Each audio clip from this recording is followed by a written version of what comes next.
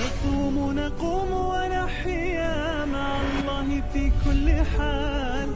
نعمر بالخير الدنيا ونرضي بهذا نصوم نقوم نعم أجمل إذا عشنا لحظات. لحظات ماذا؟ لحظات قرار لنحقق معنى عظيم هو معنى المراقبة. خلينا نشوف يا جماعة ما هو قرار المراقبة.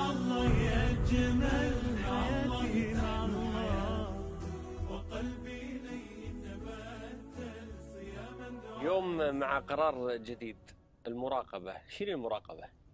أن تعلم بأن الله يراك ويسمع سرك ونجواك. إذا خلوت بمعصية والنفس والشيطان دعوك لأن تبارز الله عز وجل بهذا الذنب قل لها يا نفس. إن الذي خلق الظلام يراني. بأن الله عز وجل يعلم كل صغيرة وكبيرة. أكرر قول الله سبحانه وتعالى. ألم تر أن الله يعلم ما في السماوات وما في الأرض؟ ما يكون من نجوى ثلاثة إلا هو رابعهم. ولا خمسة إلا هو سادسهم ولا أدنى من ذلك ولا أكثر إلا هو معهم أينما كانوا. ثم ينبئهم بما عملوا يوم القيامة. إن الله بكل شيء عليم. شيخ علي هذه الآية التي قرأتها العلماء يسمونها آية العلم. لماذا؟ لأن الله سبحانه وتعالى قد بدأها بالعلم وانتهى سبحانه وتعالى هذه الآية بالعلم. ألم تر أن الله يعلم؟ إن الله بكل شيء عليم. طيب الآن الإنسان تصارع يعني نفسه بين الخير والشر وهو يريد أن يحقق معنى المراقبة بشكل صحيح. لابد أن يتذكر دائما وأبدا باطلاع على الله سبحانه وتعالى. وأن الله عز وجل لا تخفى عليه خافية. سبحان يرى دبيب النملة السوداء آه. على الصخرة الصماء في الليلة الظلماء شو العوامل في عوامل مثلا التي يعني مثلا تساعدنا أن إحنا فعلا نحقق آه، هذه القيمة؟ تفضل. التأمل أولا في أسماء الله عز وجل الله. وبالذات اسم الله عز وجل العليم السميع البصير الرقيب يتأمل في أسماء الله الحسنى ويتفكر فيها ويسأل الله سبحانه وتعالى أن يكون مراقبا لله. دائما مستحضر لنظر الله عز وجل واطلاع الله عز وجل عليه. ابن عمر رضي الله عنه وأرضاه نزل من سفح جبل إلى وادي. الله. فرأى راعي غنم. الله. فقال له بعنا واحدة من هذه الغنم.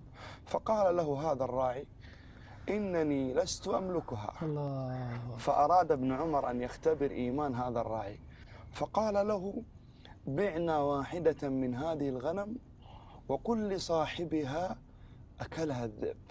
فقال هذا الراعي إن قلت لصاحبها أكلها الذئب فماذا أقول لله؟ الله. تذكر هذا الراعي الإنسان البسيط؟ اطلاع الله عز وجل. من اليوم الثاني ابن عمر ذهب إلى سيد هذا الراعي واشترى واشترى هذه الغنم وأهداها لهذا الراعي وقال له أنت حر لوجه الله. كلمة. أعتقدك في الدنيا؟ أسأل الله أن يعتقك بها يوم القيامة. أبو حسين هذا الراعي استشعر قول الله جل وعلا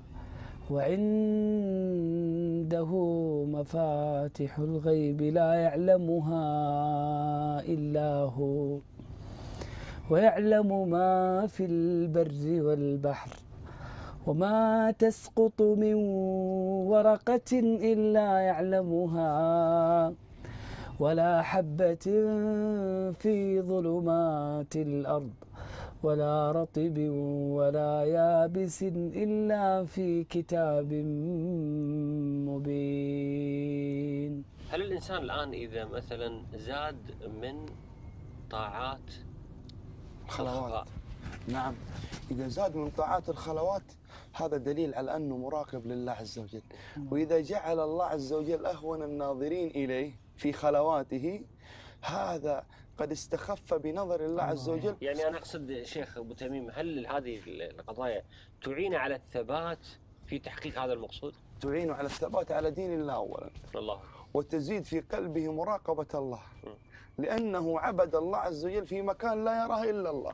بعدين الآن حتى الصائم سبحان الله. الآن سبحان الله عموم الناس الصائمة أصلاً. نادر أحد يقول للناس أنا صايم ولا؟ صيام. رمضان صيام رمضان يحقق مفهوم المراقبة. يستطيع أن يأكل يستطيع أن يشرب يدش الثلاجة ما حد يشوفه صح؟ إيش اللي يمنعه؟ مراقب لله. يعلم بأن الله عز وجل يراه. وهو ما ترك الطعام والشراب إلا قربا من الله سبحانه وتعالى. يا أبو حسين لقمان عليه السلام الله لما أراد أن يربي ابنه على المراقبة قال يا بني إنها إن تك مثقال حبة من خردل فتكن في صخرة أو في السماوات أو في الأرض يأتي بها الله. لو كل واحد استشعر بأن كل نظرة للحرام ينظرها وكل أغنية أو كل محرم يفعله يأتي به الله عز وجل لتوقف عن معصية الله. ربما كثير من الناس ولعلنا يعني نحن كذلك نقع في تلك الأشياء التي نعصي بها الله عز وجل. وكلنا ذاك الرجل الذي يخطئ نغلق الأبواب والنوافذ ثم بعد ذلك نعصي الله عز وجل ونبارزه. والله نخشى أن يقع الله أن يقع فينا قوله سبحانه وتعالى يستخفون من الناس ولا يستخفون من الله وهو معهم إذ يبيتون ما لا يرضى من القول. وكان الله بما يعملون محيطا. تدري إيش عقوبة من لا يراقب الله؟ إيش هي؟ ومن يجعل الله أهون الناظرين إليه؟ أن الله يوم القيامة يجعل أعماله هباء منثورا. الرسول صلى الله عليه وسلم جالس مع الصحابة فقال النبي صلى الله عليه وسلم يأتي أقوام يوم القيامة بحسنات أمثال جبال تهامة بيضاء. فيجعلها الله هباء منثورا. يعني يحبط العمل؟ يحبط. فالصحابة رضوان الله عليهم خافوا. قالوا يا رسول الله صفهم لنا جلهم لنا أعطينا مواصفاتهم لعلنا ألا نكون منهم. قال أما, أما إنهم من بني جلدتكم يعني مثلكم. ويأخذون من الليل كما تأخذون. يعني يقومون الليل. نعم ويصومون من النهار كما تصومون. إلا أنهم أقوام إذا خلوا بمحارم الله انتهكوها. إذا كان لوحده ما راقب الله ولا عظم الله وجعل الله أهون الناظرين إليه واقترف الذنوب والمعاصي. الانتهاك هذا لحرمات الله عز وجل المقصود فيه في هذا الحديث هو هل المقصود اللي هو الديمومة إنه دائما ولا اللي إنسان مثلا وقع ثم انتبه ثم رجع؟ لا المقصود أنه يستخف بنظر الله. ويجعل الله أهون الناظرين إليه.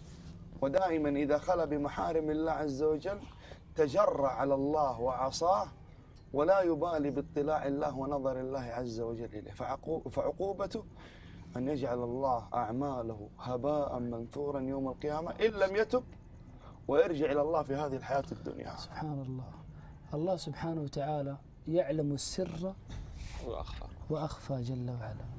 فمع الأدب مع الله سبحانه وتعالى أن الإنسان إذا اختلى بالله جل وعلا أن يتقرب إلى الله سبحانه وتعالى. لأنه سبحان الله ترى الطاعة في الخلوات مثبتات والله. والمعصية في الخلوات منكسات. نسأل الله العافية. والسلامة إذا فرصة عزيزي المشاهد أن نتخذ قرارا لنحقق هذا المعنى وهذا الموضوع في ظل هذه الأجواء الإيمانية. نسأل الله عز وجل أن يعيننا وإياكم لتكون حياتنا مع الله أجمل. اللهم احفظنا من بين أيدينا ومن خلفنا وعن أيماننا وعن شمائلنا ومن فوقنا ونعوذ بعظمتك أن نغتال من تحتنا يا رب العالمين. نتوب نذوب اشتياقا إلى الله في كل آن. فلا شيء أحلى مذاقا كدمع يريح الجنان. نتوب نذوب اشتياقا إلى الله في كل آن. فلا شيء أحلى مذاقا كدمع يريح الجنان. حياتي مع الله أجمل قلبي إليه تبتل صياما دعاء.